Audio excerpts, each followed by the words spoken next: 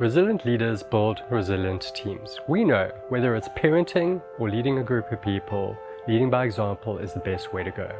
Research that was conducted by BetterUp found that resilient leaders, team members, fared much better when they could cope with challenges effectively, to the extent that those staff members experienced 52% lower levels of burnout and 78% lower intention to leave. If you start considering what's going on with the great resignation at the moment, these are key factors that are going to impact the bottom line.